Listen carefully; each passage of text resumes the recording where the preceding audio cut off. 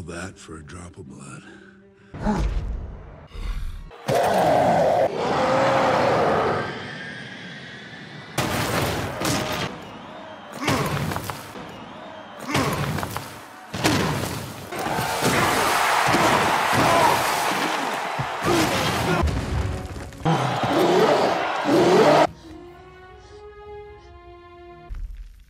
Puny God.